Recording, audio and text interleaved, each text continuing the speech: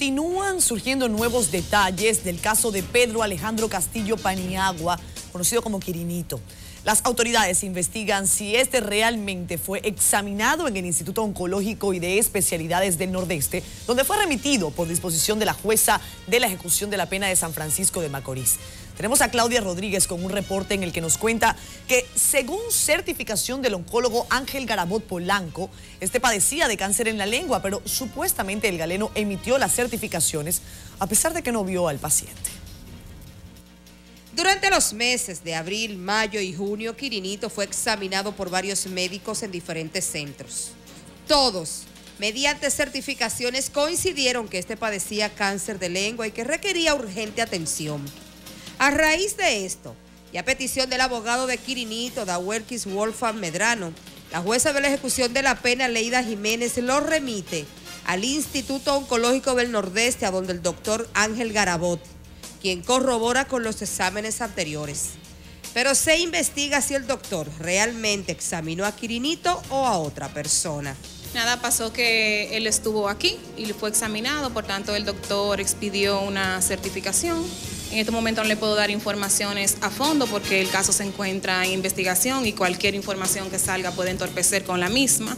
Sin embargo, el doctor certificó haber visto al paciente desde aquí y nada, hasta ahora es lo que nosotros entendemos que ocurrió.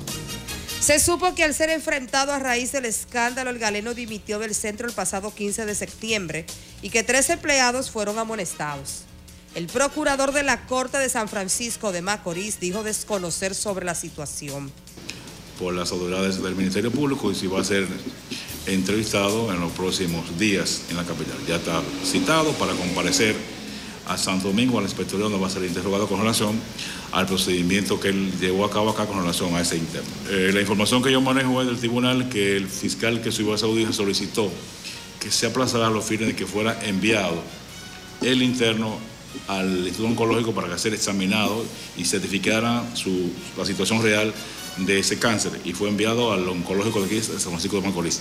Si no lo llevaron, si llevaron otros, esas son cuestiones que las autoridades del centro tendrán que explicarle a las autoridades. Por eso fue lo que se pidió en audiencia y fue lo que la jueza ordenó.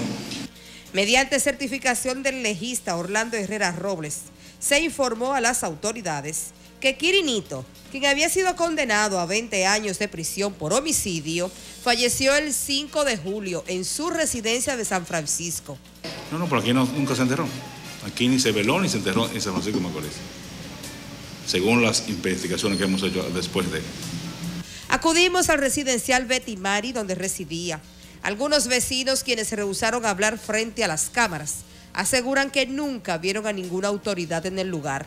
Residentes en San Francisco de Macorís entienden que la sociedad debe revisarse y que escándalos como este no pueden suceder. Yo creo que en este caso particular eh, hay una responsabilidad principal.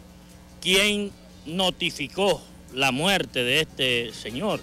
¿Qué, tan transparente fue el proceso de traslado desde el lugar donde estaba anteriormente, creo Santo Domingo, Najayo, hacia San Francisco de Macorís? ¿Qué nivel de seguimiento se le dio cuando se produjo ese traslado? En la justicia de aquí eso es algo que no es para sorprender. Mira, Odebrecht, lo que pasó. Fueron a la prisión, hicieron, se juntaron, van a la prisión y a los dos meses afuera y muchos infelices ahí pudriéndose en la prisión.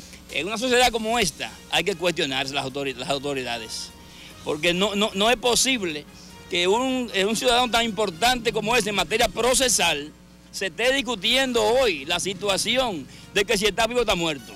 El presidente del Tribunal Constitucional espera que el caso se investigue a profundidad. Que este acontecimiento requiere de una investigación exhaustiva, estableciendo las responsabilidades condignas, de manera que se dé un ejemplo. La Procuraduría ha interrogado a varias personas y dispuso la suspensión del médico legista Herrera Robles. Este jueves podría ser investigado el doctor Garabot Polanco. Claudia Rodríguez, NCDN.